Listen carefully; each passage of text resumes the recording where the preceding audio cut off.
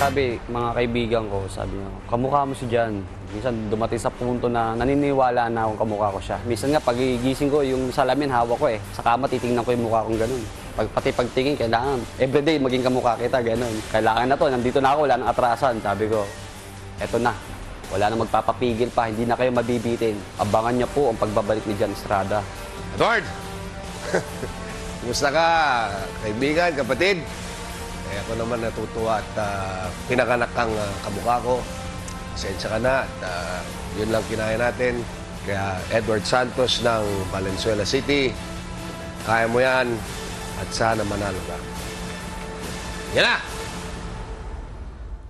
Ladies and gentlemen, put your hands together for our finalist number seven from Marulas, Valenzuela. Valenzuela Saan, saan City. talaga siya nakatira? Saan talaga? Edward Santos, aka Estrada.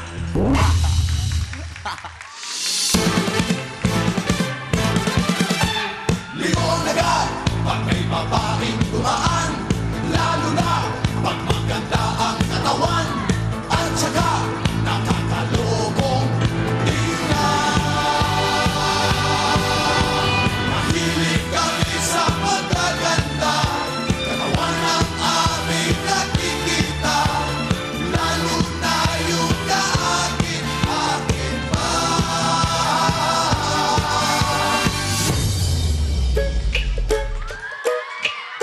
Nasa'yo na Pachop! ang lahat. Ano ibig sabihin nito? Minamahal kita. Ha? Nag-aaway kayo magpinsan dahil kay Ivan?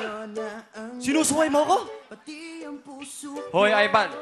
Hmm, hindi ko pa pinahihintulutan ligawan mo ang anak ko, ha? Partner, hmm. di ba sabi ko sa'yo huwag ka muna magpo-boyfriend? Di ka ba masaya sa buhay mo?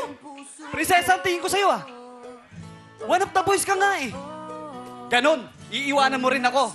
Napipilitan ka lang. Katulad ka rin ng nanay mo. Iiwan mo rin ako. Ganon! Ganon? Ganon? Ganon? Kamusta pala? John Estrada. Oo. Kuya Eto. John. John. Thank you for coming, ah. Correct. Tingnan natin ang ano hatol sa'yo ng Madlang People, Bacon Basa.